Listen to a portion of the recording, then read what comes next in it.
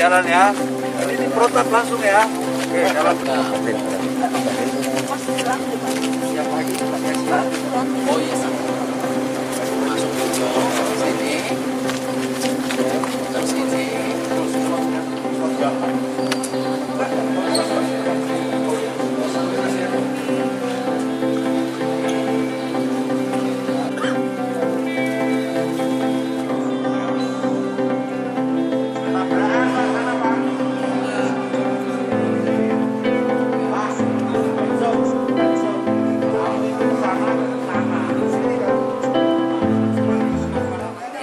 Ada dua persiapan yang harus dipastikan. Satu, memang ini kan nanti ada kegiatan buat juga buat masyarakat.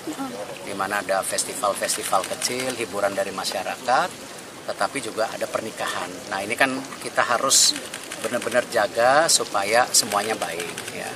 Dan alhamdulillah sendiri kesiapan dari Kemangkunegaraan yang dipimpin langsung oleh Kanjeng Gusti saya rasa sudah sangat prima.